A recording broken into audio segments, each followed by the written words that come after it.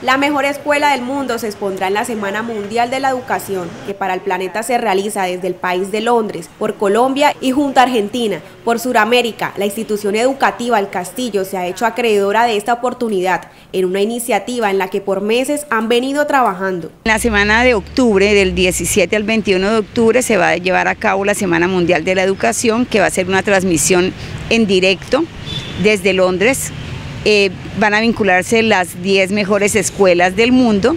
Cada una de ellas vamos a tener un espacio para mostrar qué hemos hecho, cómo lo hemos hecho, por qué llegamos hasta este lugar o hasta este, a esta posición. Y pues cada uno va a mostrar a través de, alguna, eh, eh, algún evento.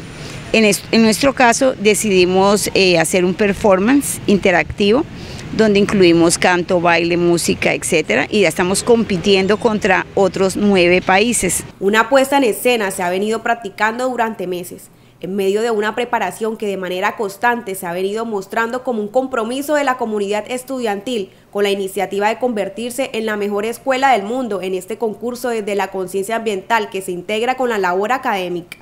Barranca Bermeja tiene por excelencia un marco acuático por sus ciénagas y su río y todo este performance y la parte ambiental que desarrollamos lo dirigimos hacia esa temática. ¿Qué vamos a hacer? Una representación de cómo era Barranca Bermeja en sus inicios con estas fuentes de agua, eh, cómo el ser humano, eh, de pronto algunos factores como la codicia, puede ser el desconocimiento, eh, han hecho que estas fuentes se han venido deteriorando y qué hacer para recuperarlas. La creatividad de los estudiantes ha sido fundamental a la hora de lograr el objetivo. Eh, nosotros en el, en el castillo se generan líderes ambientales.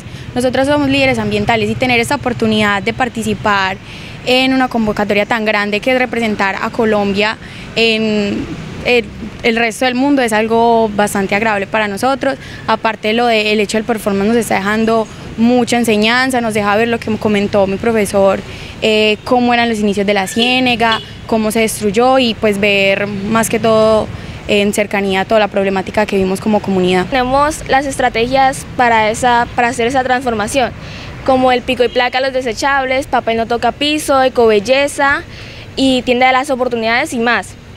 Algo como el pico placa, los desechables, estamos hablando de que al colegio en la cafetería no se vende ningún tipo de desechable, ningún vaso, ningún plato. Cada niño tiene que llevar su propio vaso personal, que no sea de vidrio porque puede ocurrir algún accidente. Tenemos también papel no toca piso, que se trata de que en ningún salón en la institución puede haber un papel en el piso porque eso tendrá multa. Todo lo anterior será expuesto en idioma inglés el próximo 19 de octubre a partir de las 8 y media de la mañana. Usted podrá observar la actividad en directo por transmisión de Facebook desde la página del Colegio El Castillo Barranca Bermeja.